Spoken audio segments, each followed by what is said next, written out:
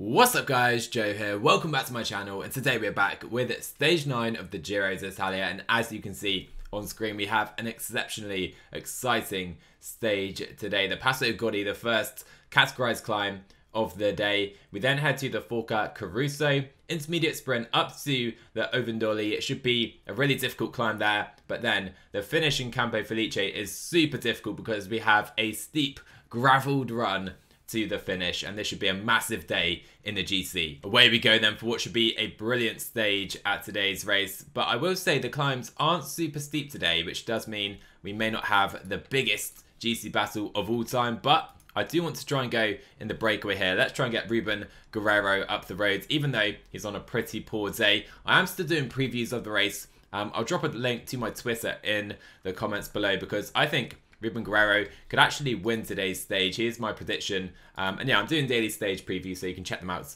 at that link down below. So I do believe we could have a breakaway victory in real life yet again today. We've had a breakaway win, four out of four of the mountain stages in real life. And I do think Alberto Bettiol is suited to going up the roads today. So let's try and move up the roads with him right here and try and get three riders in today's break. So it seems we could have the first really high power breakaway up the roads at this Giro on our playthrough here. You can see some of the guys trying to get in. Quinten Hermans is here. Bettiol has made it Grossschartner as well. Lawrence Naesen is here. Valter, the pink jersey in real life. We've got three riders here though, so we do have some suitable strength, even though our guys aren't on the best race days ever. Oh, and we've had a massive moment, massive moment in the race. Jens Keukeleire has gone down, but so has Marc Soler and the Maglia Rosa. Egan Bernal is down, and Marc Soler he does continue just about, but of course, we're not going to work here with Egan Bernal, and surely the Ineos Grenadiers are going to drop all of their team now back to help So a Movistar, and this could only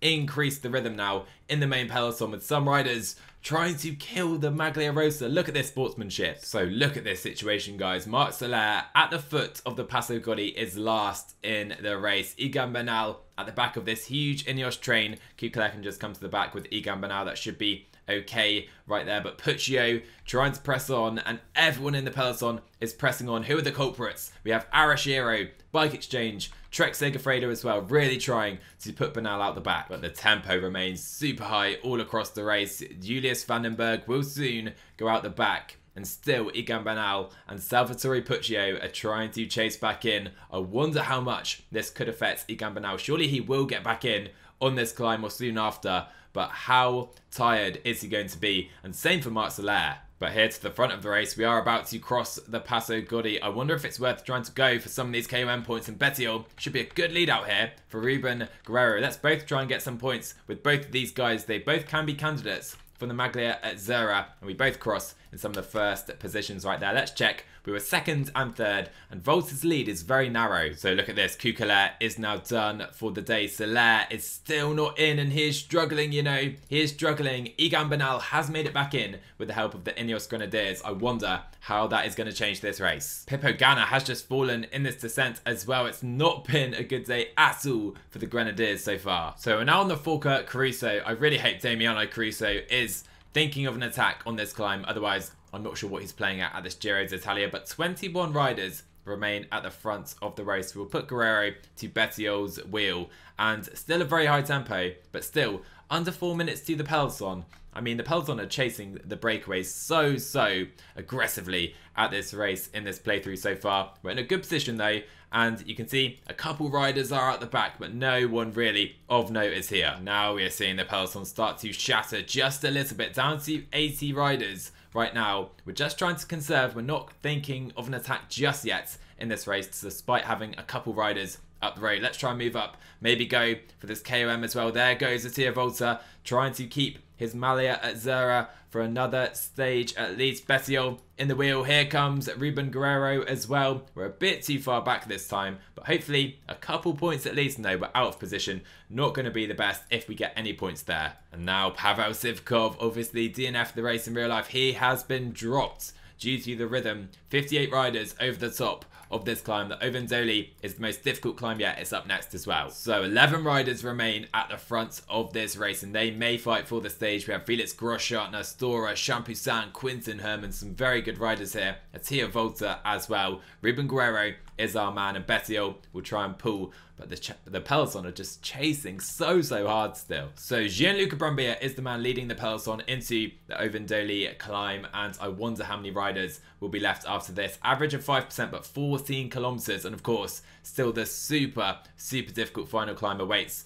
Said Champion attacks, he doesn't seem to be. Okay, and here we go, here we go, because Giulio Ciccone attacks 8 minutes down in the GC. He's not really a GC threat right now in this race, but let's see how everyone reacts to this. So, so aggressive, of course, is Giulio Ciccone, and he's showing that again right here. Oh my, what is going on here, guys? What is going on? Because Remco Evenepoel is trying an attack on the Ovindoli climb. I can't believe this. I simply cannot believe this. We need to follow, though, with Hugh Carthy. Caicedo and Carr are struggling to look after our big Brits now as well. And surely the guys up the road are going to be caught now because of this. Let's see. But Carthy does remain, does he, with the guys? No, he has just been dropped for now. We're going to have to push up by ourselves. In fact, I will do this instead. I'll drop Bettiol to help out Hugh Carthy. We are back, though, with the main guys. Grossschartner has been dropped. Let's just try and take position. And Bettiol is going to have to look after Hugh Carthy right here. He's pretty done. But Hugh just to the front. What is Remco doing pressing on so aggressively as Guerreiro has been dropped as well to the top of this climb? I can tell you we have many, many riders out the back. Emmanuel Buchmann is dropped somewhere here. Hindley is struggling as well. And Ruben Guerreiro is struggling to get to the front of this race here. We'll try and stay with these guys. But at the front, Attila Valter holds a 30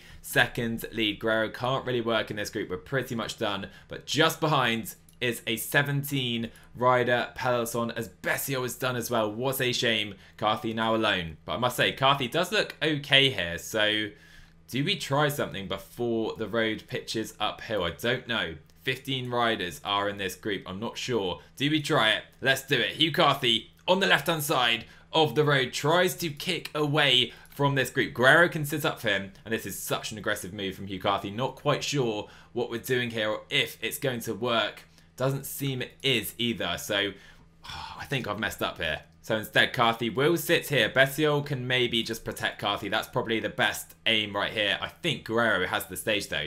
Oh, sorry, I think Attila Valter has the stage from the breakaway. Guerreiro can't really chase behind. We'll watch the GC group carefully. Now we have the likes of Felix Grossschartner and Pozzovivo coming back on. I think Soler and Buchmann, they're still behind this group though. So I will pull a little with Bettiol. We'll see what other teams do. Very aggressive race so far for some of the guys. Guerreiro not really getting any help in this group. Let's try it. Let's try an attack with Ruben Guerreiro up to Attila Valter ahead of the final climb. It's going to be very, very difficult here. Let's try and push on those two Valter's wheel. No tempo still in the group behind. We have made it to Attila Valter, but the guys continue attacking. Let's get in the wheel of Hermans. Valter has been caught and passed. Victor Campenaerts attacking on this hill. Unbelievable stuff as Guerreiro now at the front of the race with five, six, 7k to go. Seems like we may have a little truce among the GC guys until we reach that final climb as Guerreiro struggling a little to stay with these guys into the final 5k and we're now on the devastating final climb. Not sure if Ruben Guerreiro is going to have the strength here to try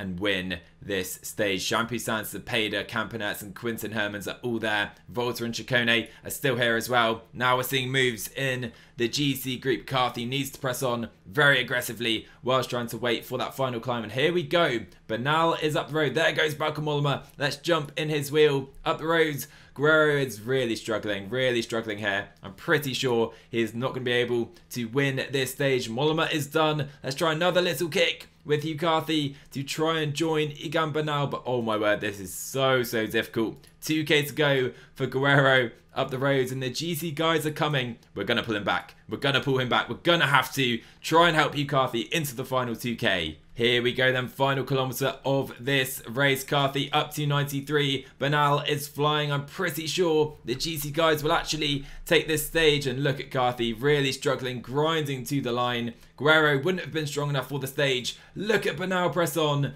Clement Champoussin wins to Campo Felice. Cepeda and Campenaerts trying to block Egan Bernal. George Bennett very strong today. Hugh Carthy pretty good as well. Among the main GC guys, I would say. Remco is here. Landa is here too. Mollema, Formolo, Bardet struggling as well. But who has been dropped? We have Vlasov losing big, big time as Alex Vlasov today.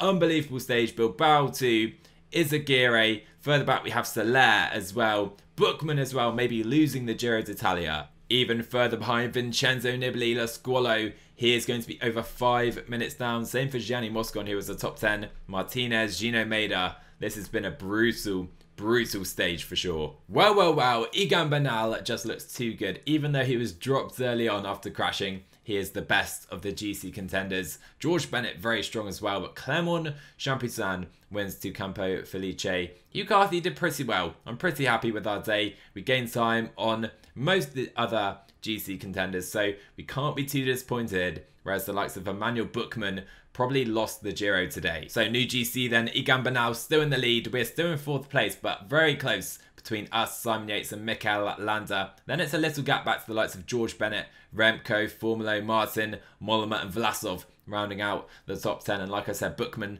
now down to 14th place. He'll be very disappointed with his stage today. So will Marc Soler. Nizzolo in the Ciclamino jersey. We have Champoussin just in the Maglia Azzurra. Very close is this competition. Two points separate the top three, and the Ineos Grenadiers are in the lead of the Movistar classification. And that is all ahead of a sprint stage, stage 10 into Foligno, and I think this is another great chance for the sprinters, obviously. Can we maybe do anything? Going to be difficult, as we know, with Alberto Bettiol or Jens Keukeleire. We'll give it our best, though. But if you enjoyed today, make sure you smash that like button. Drop a sub if you're new to the channel, and I'll see you guys in the next one.